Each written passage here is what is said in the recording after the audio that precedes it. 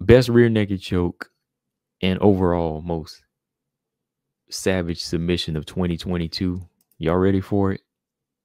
Y'all ready for this one? BJ, you ready for this one? Look, best RNC, best submission of 2022, most savage beast submission of 2022 goes to I gotta give it to Gillian Robertson.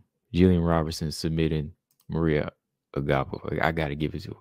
I gotta give her this. This was a vicious one, man. I mean, it's not even like this fight was like this masterclass performance from Gillian at the time, but Agapova, you know, she was holding her own in the first round or so, you know, and she was landing some punches on Gillian Robertson's head. I mean, not in that head up, but Gillian just stayed in that fight, dragging this girl down to the ground like she's quicksand.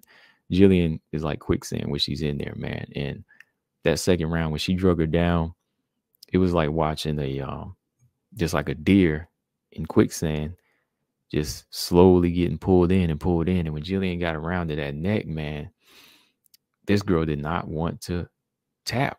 There was a couple times where she reached up like she was going to, and I think it was who Mark Smith was looking. And then all of a sudden, you just saw the girl's eyes cross, the vein popping out of her head, like almost like she's about to bite her tongue. Finally, he stops and she just, this girl's convulsing. She's spitting up.